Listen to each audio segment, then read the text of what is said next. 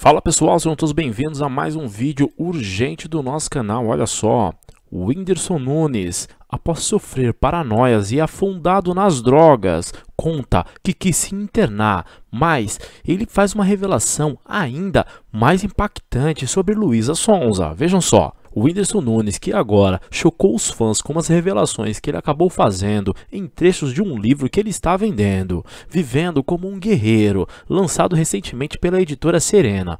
Um dos trechos da obra que mais repercutiram foi quando ele relatou momentos difíceis em que viveu durante a pandemia, época em que contou ter se afundado nas drogas e álcool. O comediante diz ter sofrido paranoias inclusive que chegou a desconfiar dos próprios amigos. O Whindersson Nunes relatou ter usado alguns tipos de drogas e ressalta ter acreditado que perderia tudo o que conquistou ao longo de 10 anos do canal no YouTube. O livro ainda revela que o humorista pensou em se internar, mas acabou sendo desaconselhado por alguns amigos e seus familiares. Olha só, na época, o Whindersson Nunes e Luísa Sonza haviam acabado de anunciar o divórcio e, segundo seu amigo, caso ele se internasse, seria um prato cheio para a mídia. Com a internação, Luísa Sonza poderia sofrer ainda mais ataques do que sofreu após anunciar o fim do seu casamento com o youtuber. Nunes diz ter sentido muito medo de que essa fase ruim, a dependência química,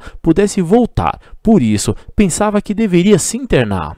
Ele destaca que só não procurou ajuda médica em uma internação por medo de que as pessoas culpassem a sua ex-mulher.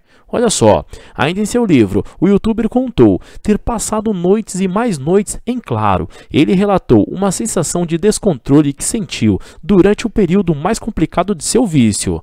Nunes disse que chegou na época em que seu cérebro estava derretendo e ele mal dormia, virando o tempo todo de um lado para o outro. Mesmo diante dos momentos difíceis, o Whindersson Nunes ainda destaca que poderia ter sido pior. Olha aí, galerinha, mais uma revelação importante desse grande grande humorista que agora vem passando por maus bocados. Deixe aí a sua mensagem e a sua palavra de apoio a esse grande artista. Deixe também o seu like, ele ajuda bastante a gente. Eu vou ficando por aqui, eu sou o Washington Lisboa, espero vocês no próximo vídeo. Tchau, tchau, pessoal.